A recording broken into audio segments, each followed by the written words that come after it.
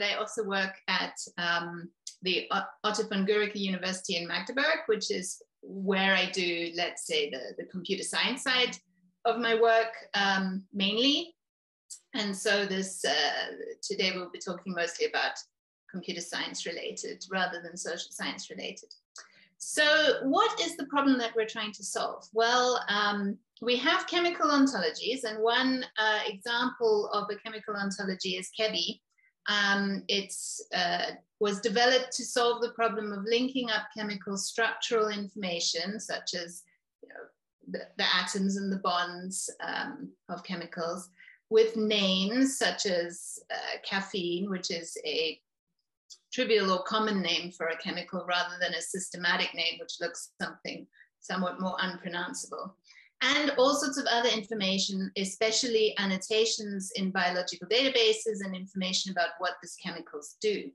And this kind of uh, connection between um, what chemicals look like and how they are structured, what they are named, and what they do in different, for example, biological contexts is just enormously useful to then be able to sort of develop uh, algorithms which try to answer questions or to interpret text automatically and so on. So it's a hugely um, valuable knowledge resource.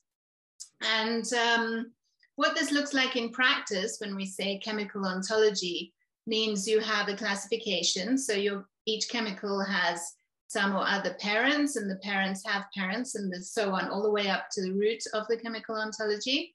And um, there can be other relationships, such as have, parthood has parts. So uh, you also have other relationships, such as functional parent. I won't go into the details of, of these, um, that how they're used in ChEBI, but um, just important to note that this kind of large, comprehensive, systematic classification of all that's known about um, chemicals in a way that can be understood both by humans and by uh, machines as, as far as possible. And these are linked then with annotations, which are kind of text encodings of other useful information, such as different ways of formatting the chemical structure, including the SMILE string, which is a kind of line notation or linear representation of the chemical structure. So ChEBI is a manually maintained ontology, and what that means is that there are really people who are trained chemists who know chemistry very well, whose job it is to add things to ChEBI, to, to sit down and check, is this name correct? Is this chemical structure correct? Do these fit together? What's the best parent for this or that uh, molecule that's been added to the ontology. And this means that uh, the ontology has a high quality compared to um, resources which do exist, um, which are completely automatically assembled, usually purely automatically assembled resources include errors and uh, problems and typos, the equivalent of typos in, in a chemical ontology context. Um, and all of these can be filtered out by the trained and careful curation from humans who know what they're doing. So this makes uh, an ontology such as ChEBI more valuable than, than, than a resource which is purely automatically assembled. But it also means that the growth in terms of the number of entities in the ontology is going to be slow. It's going to be as slow as it sort of takes a human to to do this work, this knowledge work. So this plot here shows you this number of entities, the number of uh, molecules or classes of molecules that were in ChEBI over the history of all the time that ChEBI has been uh, around for, which is more than 10 or possibly by now 15 years. And um, how it, you can see it's mostly grows kind of linearly and you could, uh, the slope at any moment in time more or less relates to the number of curators that there were at that time working full time on, on the ChEBI resource. So it's sort of slowed down in recent years and that was because there were fewer curators working there and that may change again in the future depending on, on funding and other constraints. So um, there's a scalability challenge and this is especially uh, notable in the context of the chemistry domain where you know, what's informally often referred to as chemical space is known to be kind of huge. So this, um, this is the size of different resources in chemistry, which are collecting chemical structural information. And um, well, PubChem is a very well-known database of chemical structures, which is uh, automatically assembled, and it includes um, a, more than 100 million um, chemical structures, uniquely individual chemical structures. And um, the GDB is a kind of predicted uh, chemical structure resource, which uh, includes known but also um, not known chemicals. But I think all estimates of uh, which chemicals may or may not exist far exceed any that we have in, in, in our databases, and therefore the 500 and something thousand, uh, sorry, 50 something thousand chemicals that actually are in ChEBI at the moment in the, in the fully curated branch or part of ChEBI, it seems very small in comparison. So this is a, a log scale here to, to be able to show. So the problem is that we have a very useful resource serving a very um, important purpose, but it's perennially kind of too small.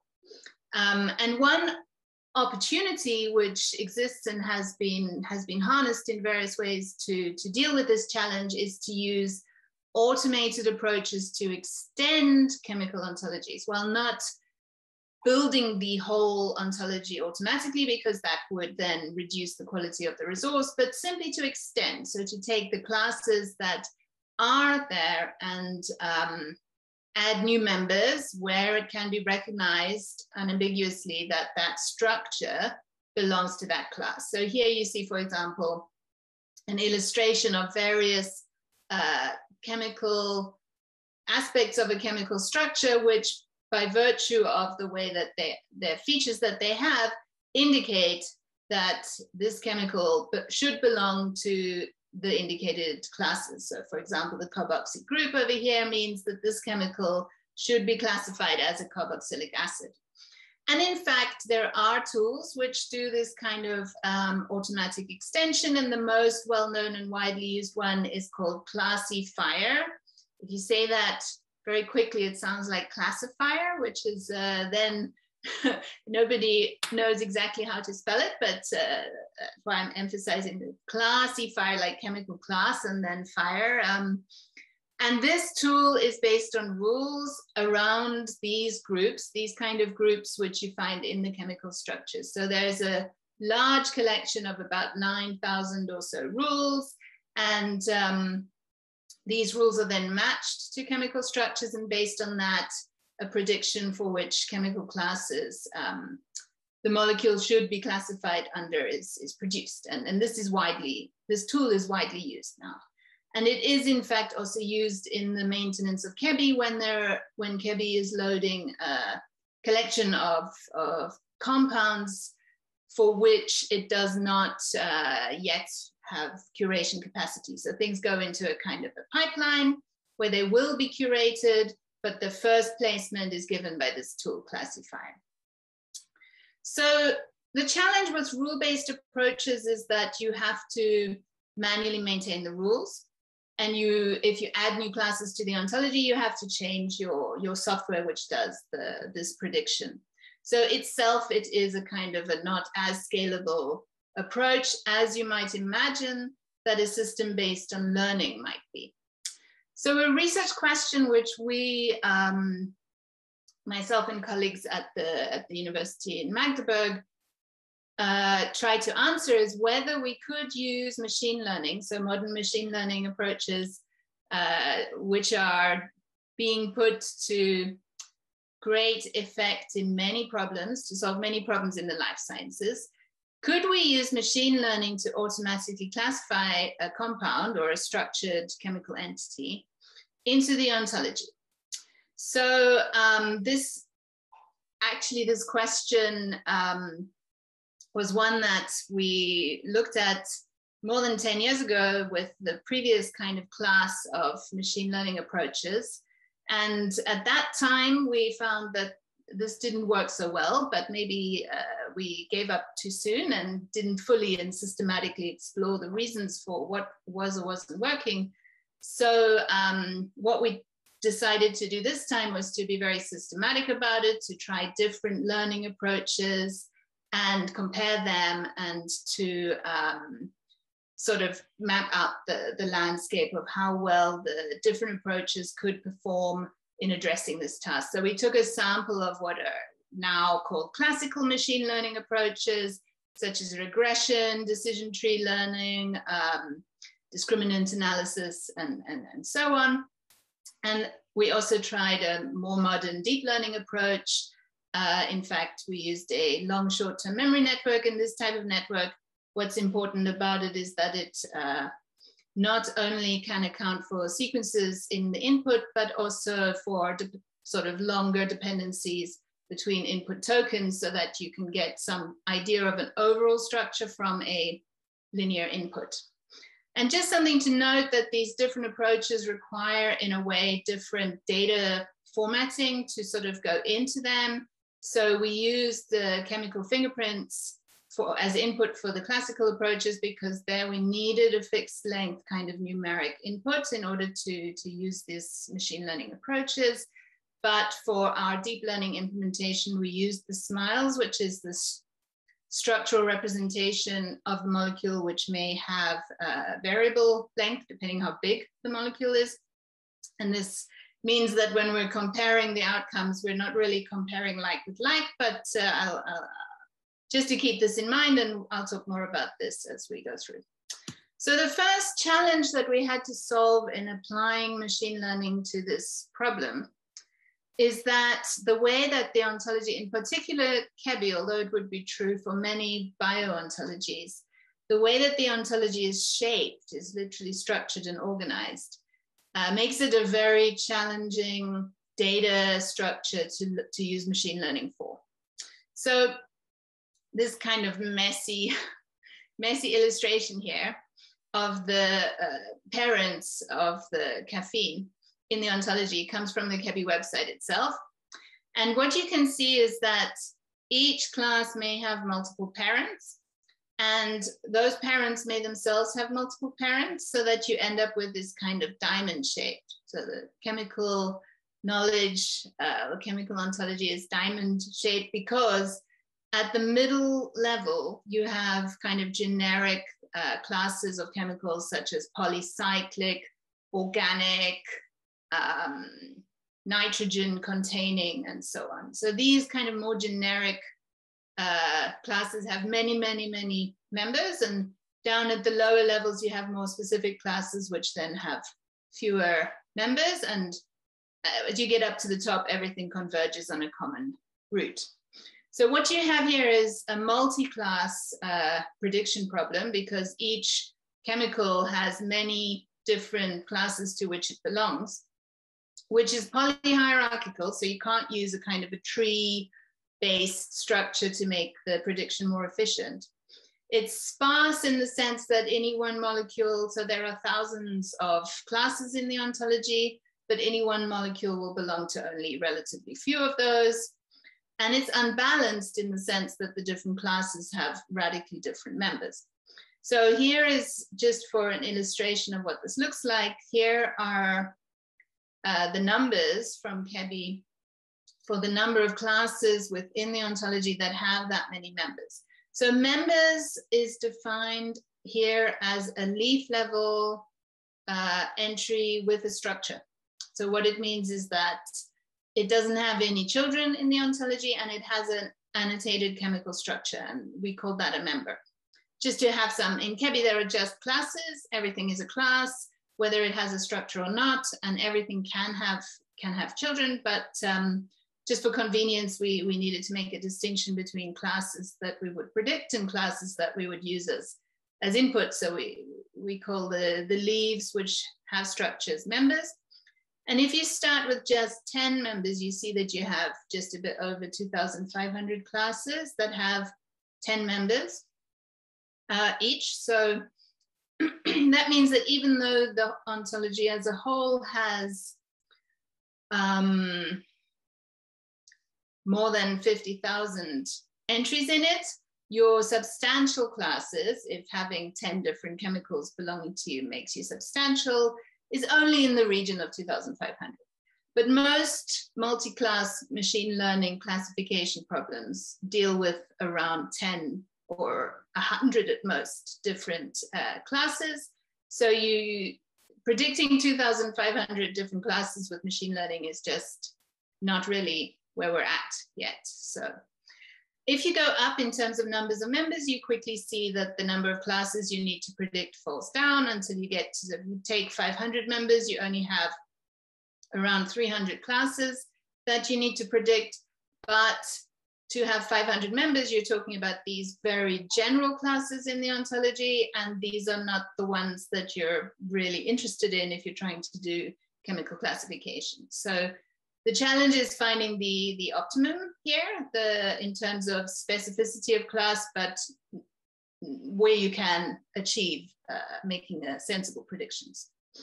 So what we did is we used um, subsampling, so selecting members from classes to generate uh, learning ready data sets of members on the one hand with structures and classes that they belong to in a way that uh, aimed to avoid overlaps. So even though in fact the classes overlap, we tried to avoid for making the learning task uh, more feasible by the selection process. So what this meant is we started with the cl classes that had a certain number of members and we took different sizes in order to probe the, the, the overall uh, problem space kind of systematically.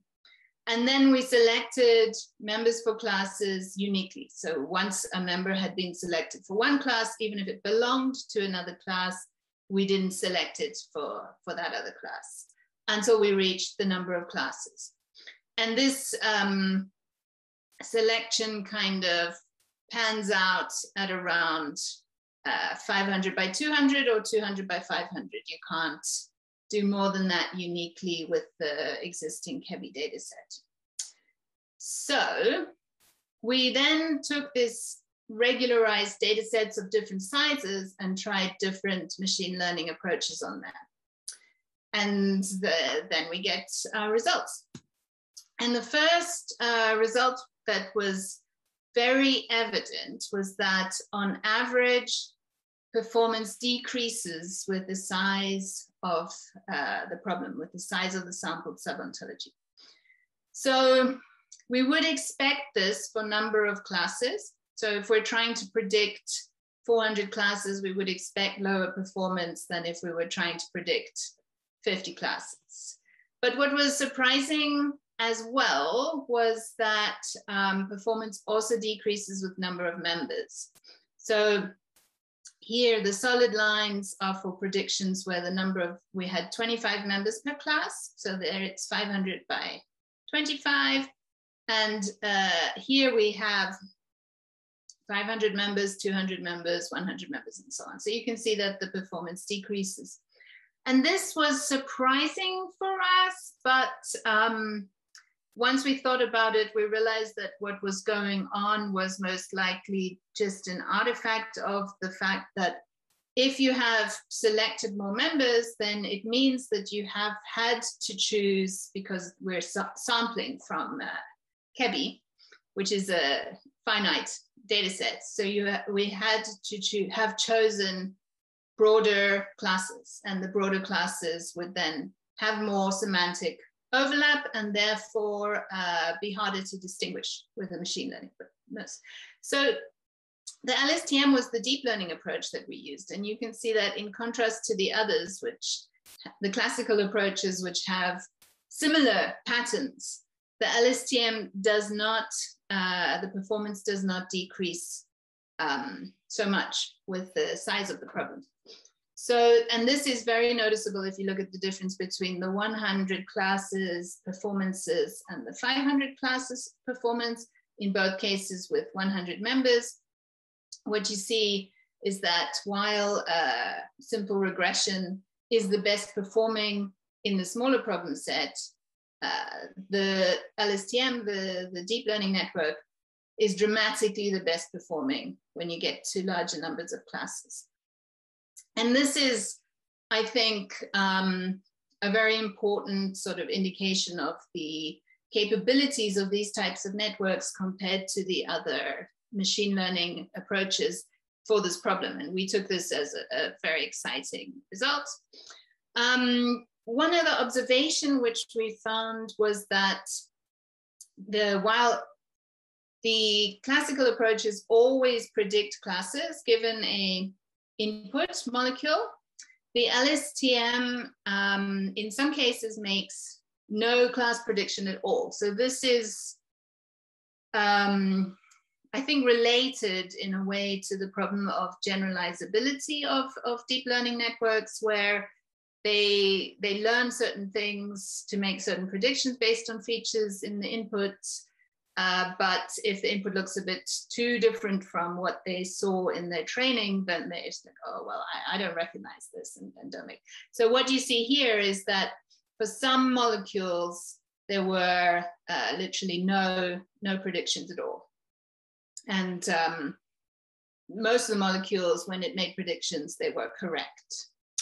So I think this is one important proviso and one thing which makes us think that the, the way forward will involve a balance of more than one approach.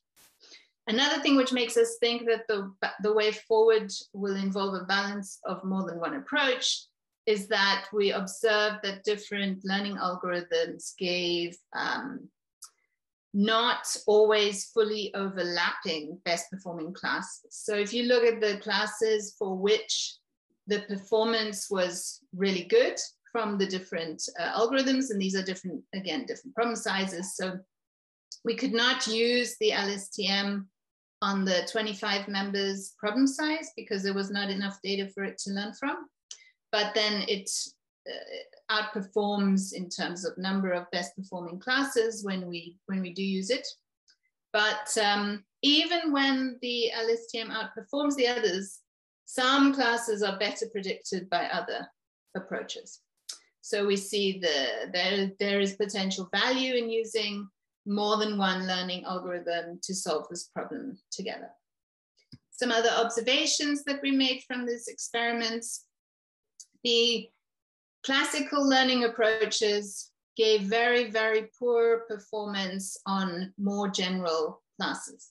I think we would expect this. I think that the, the predicting the more general classes, if you've got some kind of, if you imagine some sort of space which you're trying to separate using classical approaches, this uh, will never work very well. Um, we also saw that the classical approaches gave very poor performance on some specific classes of chemical entities. So here we see salts and cations. And I think here the problem is just that the information which distinguishes these classes was not present in the fingerprint that we used for input. Bearing in mind that for the classical approaches, we had to generate first a chemical fingerprint before passing it to the learning exercise. Now, when we look at the worst performing um, classes for the LSTM, which we can look at separately, we saw that interestingly, this was uh, completely dominated by chemicals which had aromatic ring structures. So this was kind of an interesting finding and, and, and caused us to sit back and think, what was it about the aromatic ring structures that was causing the LSTM trouble? And uh, although we're still not entirely sure, our hypotheses are around the um, encoding of aromaticity in the SMILES string. And maybe this is not optimal for learning purposes the way it's done at the moment. So um, one question which we had was how well our LSTM or this learning approach compared to the state of the art, which is this ClassyFire rule, rules-based tool, which also predicts uh, for novel chemicals. It also predicts um, class membership. So here, um, it's not trivial to make this comparison because, well, for various reasons. But um, one reason was that these tools don't predict just one class, uh, but many. And in fact, ClassyFire predicts lots and lots of classes for, uh, for each sort of a mean of eight, I think it was, classes for each input molecule.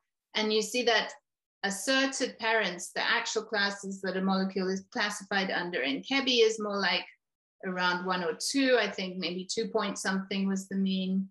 And the LSTM predictions track the CheBI because we use it as the, as the input.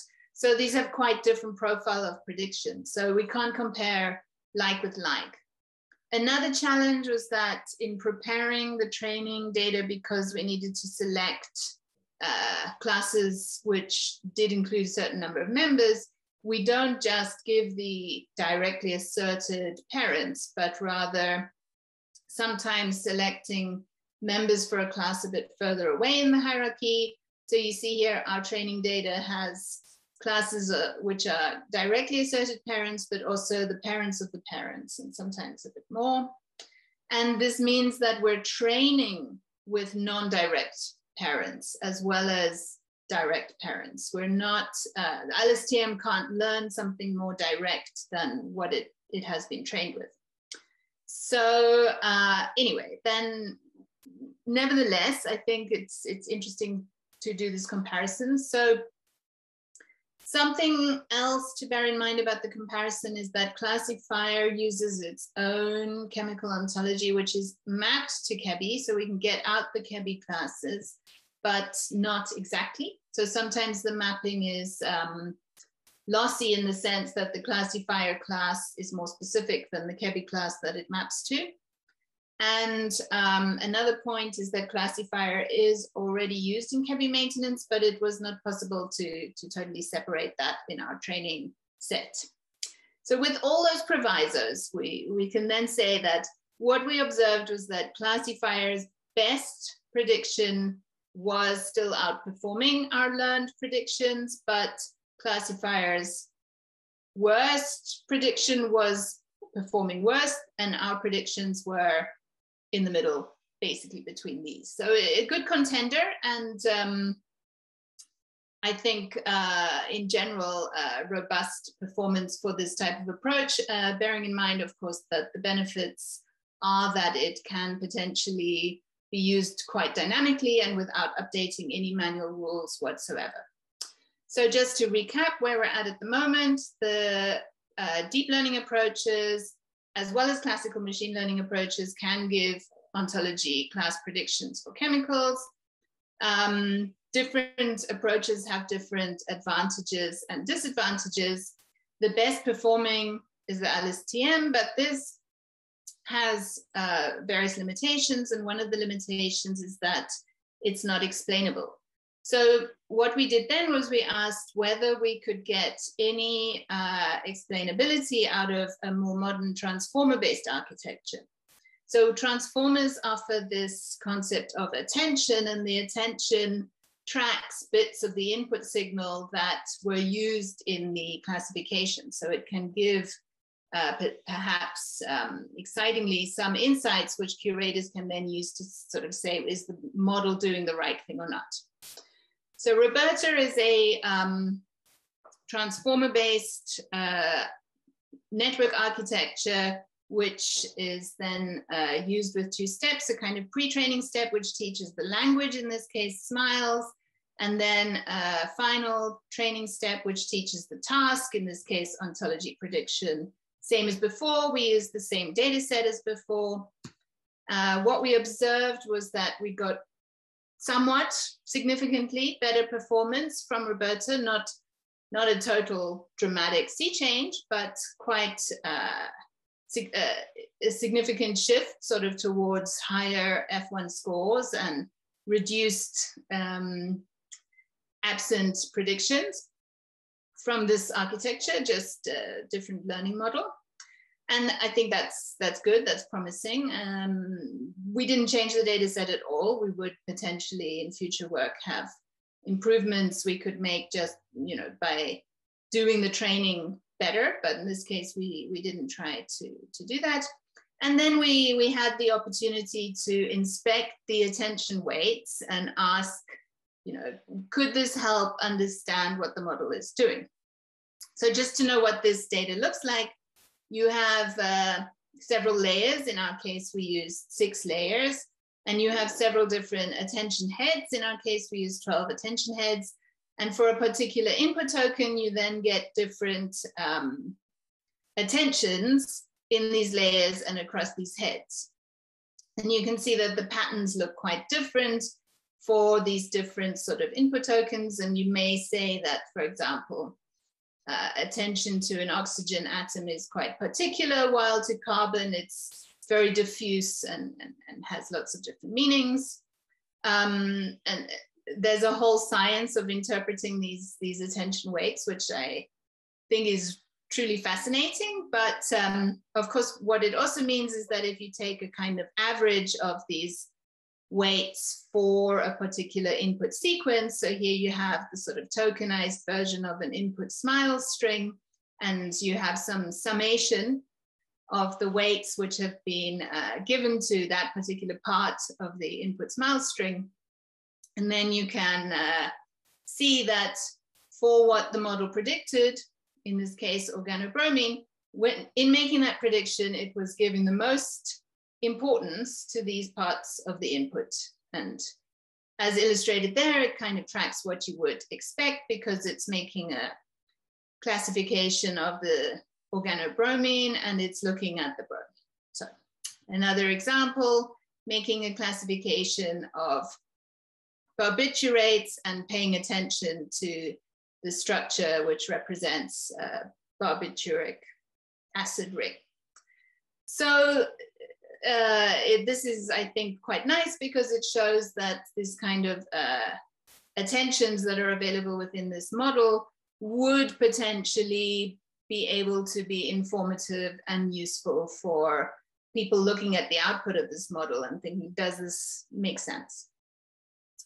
So in conclusion then, um, what, we, what we have found that indeed um, deep learning provides a promising direction for automated ontology extension.